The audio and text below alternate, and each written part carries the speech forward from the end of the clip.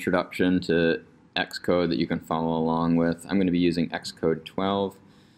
So I've downloaded it from the App Store. I'm just opening it up on my computer. Um, on the right here, you'll see some of my previous projects. I'm going to click on this top one right here where it says Create New Xcode Project. And I'm going to create an iOS app. You have different options up here for Mac, OS, TV, and other.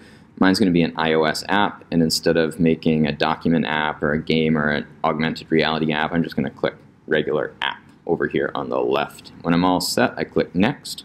I'm going to give it a name. Um, I'm going to select my uh, development team. Um, if you want to create a development team, you can using your um, Apple ID. I have my organization identifier, just com.dalton. Um, you can make anyone you want to. Um, yeah, what this is used for is it's used for creating your bundle identifier, which is this right here com.dalton.hello-world. So every app that you create is going to have a unique bundle identifier. So you need to make sure you're creating apps with different names um, so they have unique bundle identifiers. Um, if there's two with the same uh, the same bundle identifier, then that's a problem. The user interface we're going to be using is Storyboard. There's another one, Swift UI. That's just another way to build apps. Today we'll be using Storyboard, um, and our language will be Swift. I don't have core data checked off or include tests. Core data would be a way of saving information on the app. We're not going to do that with this app. We also don't need to include the tests for this one. So when you're all set, you can click Next. I'm not going to create a Git repository on my Mac for this, um, but if you do have a GitHub account and you want to connect it to Xcode, it's quite easy, and you can, um, yeah, you can upload projects to the cloud and have other people work on them at the same time using GitHub. Uh, so something to think about for the future. I'm going to create this just on my desktop, but you can save it in a folder, create it anywhere you want to. And when Xcode first opens up, our project first opens up, we can see that the project file is highlighted. Um, over here on the left pane, this is the navigation pane. It will have all the files um, for this Xcode project. And the files we're mostly going to pay attention to today are the viewcontroller.swift file, where you can add code, and the main.storyboard, which is where we can use our, we can lay out our um, project. So here we have the navigation pane, like I said. The next pane over here is the document outline, um, where it has this view controller scene. Then over here we have our editor pane uh, where we can make changes to our app. And then over on the right we have the inspector pane or the utility pane. Um, and I'll show you some examples of how to use that uh, in a second. If you're thinking about this, um, this would be the big picture, like the whole universe would be over on the left-hand pane, and this would be like a little bit smaller. And over on the right-hand pane, it would be like a close-up of what you're working on. So that's one way to think about it.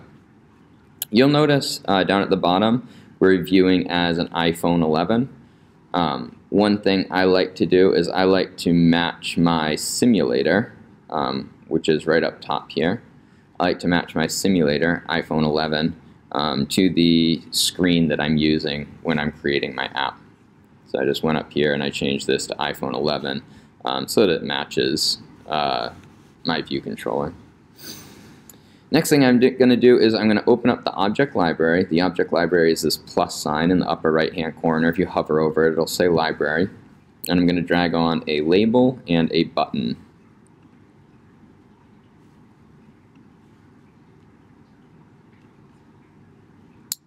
And you'll notice once we have like the label or the button highlighted that the identity inspector changes a little bit. So this will be like the attributes you can adjust on the label.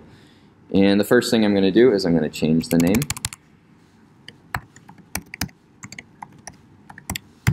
So that it says Hello World. And if we want to, we can make that a little bit bigger by going under the font and hitting the up arrow. Just going to center that in the middle. And yeah, so if we highlighted the button, then the attributes inspector would change a little bit. This is the attributes inspector right up here, this tab uh, with these lines and sliders here. And if you hover over it, it will say attributes inspector, show the attributes inspector. You also have the identity inspector and the size inspector. Um, all right, so what we've done is we've put on a label and a button. We've changed the name of the label to Hello World, and we're just going to press play so that we can see what our app looks like.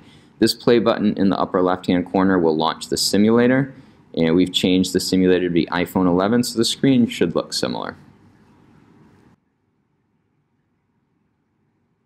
And when it's all loaded, we can see our hello world and our button. But when you press our button, nothing happens, so maybe we should work on that next. Um, when I'm closing the simulator, I hit this stop button up here in the left-hand corner. Um, and that will stop the simulator from running. All right, so next up, we're going to connect this label and this button um, to our viewcontroller.swift file. In order to do that, we're going to have to open up another, another editor pane. So this button right here, this small plus sign, says Add Editor on right. I'm just going to click on that. Once I open up the new editor, I'm going to click on the viewcontroller.swift file. Um, so I should have my viewcontroller.swift file open in the right and my um, main.storyboard file opened on the left. Now you can see uh, that we're getting less and less room to work with. So one thing I like to do is I like to toggle some of these panes. So I might close my um, utility pane on the right. I might close my navigation pane on the left. And that is done with these buttons in the upper right and left hand corner. And this will just give us a little bit more room to work with. So the first thing we're going to connect is we're going to connect um, the label, and we're going to connect that above viewDidLoad. Uh, this line of code right here uh, is the viewDidLoad function. Anything within these curly brackets here will run when the view is loaded. It, they give you a little comment here. You can make a comment with these two forward slashes. Do any additional setup after loading the view, and that would come here in viewDidLoad. So I'm going to connect my label above viewDidLoad and my button below viewDidLoad. It's just good programming practices to put your outlets above viewDidLoad and your actions below viewDidLoad. So to connect, I'm going to hold down Control on my keyboard. I'm going to click on the label, and I'm just going to drag it to somewhere above viewDidLoad, any of these lines, and then I let go. And I'm going to give it a name. It's going to be Hello World label. It's going to be a UI label connection is weak, and I just say connect. And then you'll see that appears right above viewDidLoad. That label is connected. So now I can refer to it by its name, the hello world label, and I can change things about it. You can see there's a circle, and that circle's filled in with that dot, and when I hover over it, um, then the label is highlighted. So you can see that this is connected. Next up, I'm going to connect the button. So I'm going to do the same thing. I'm going to hold down Control. I'm going to click on the button, and I'm going to drag it somewhere below viewDidLoad because it's an action. And when I let go, it lets me fill in the name. This will be the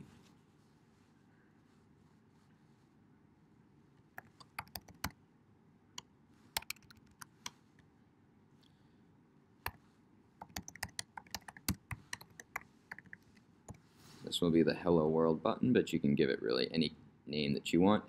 I'm going to change it from type any to UI button. Um, touch up inside is what I want. That's just a regular button touch. Um, and I'm going to connect that. And again, that appears over here below viewDidLoad. And if I hover over um, this bullseye, then that button does highlight so I can see that it is connected. Um, so I think when I hit the button, I'm just going to make it say something else. So I go inside of the curly brackets for the button. Um, so anything we put in here will happen when the button is pressed. And I want some information to appear in the Hello World label. So I always start with where I want the information to appear, and that's going to be the Hello World label.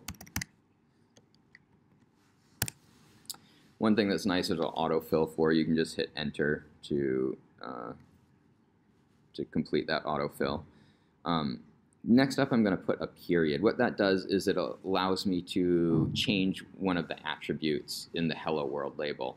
Well, what do I want to change in the hello world label? I want to change the text. So I'm just going to type in text here. Again, it'll autofill for us. I'm going to do space equals space. Um, and then we can make the label say something. And I'm just going to make it say my name. Um, so when this button is pressed, the hello world label.text will change to be Dalton. Now I'm going to run this project one more time by hitting the play button up here in the left. Um, the label appears, the button appears. When I press the button, the text changes to Dalton.